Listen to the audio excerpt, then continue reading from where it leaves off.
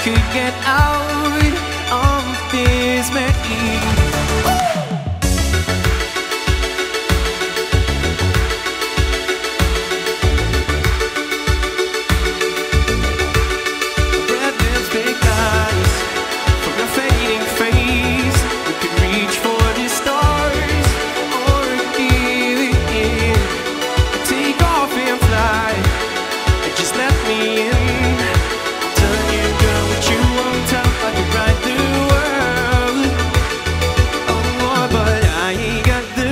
Patience to